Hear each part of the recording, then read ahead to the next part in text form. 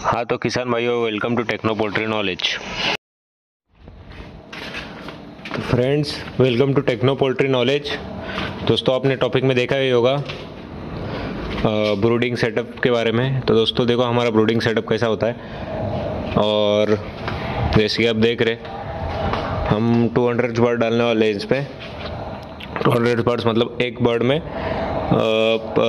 एक एक chicks guard में।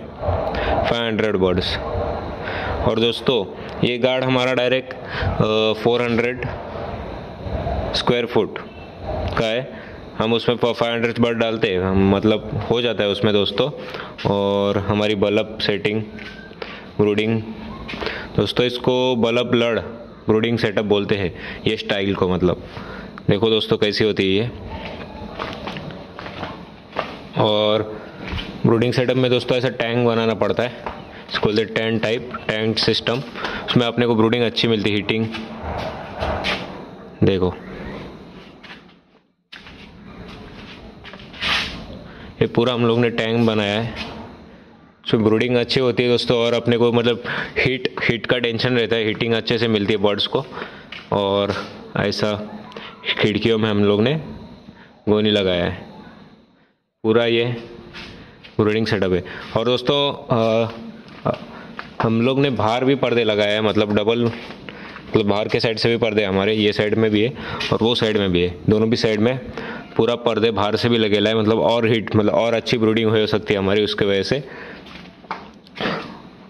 तो उसको आपको अच्छा लगा तो वीडियो अपना लाइक करो ब्रूडिंग सेटअप और आज हम लोगों ने फेमिकेशन भी किया था दोस्तों। आप जैसे कि देख सकते हैं फिमिगेशन किया था हम लोग ने।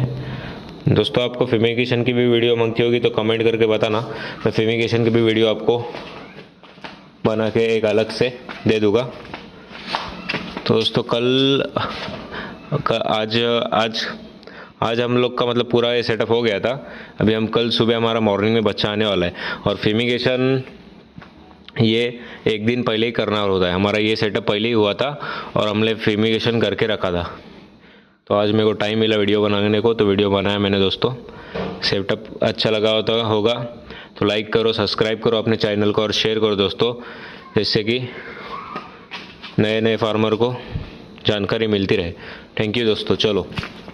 मिलता हूँ आपको अगले वीडियो में।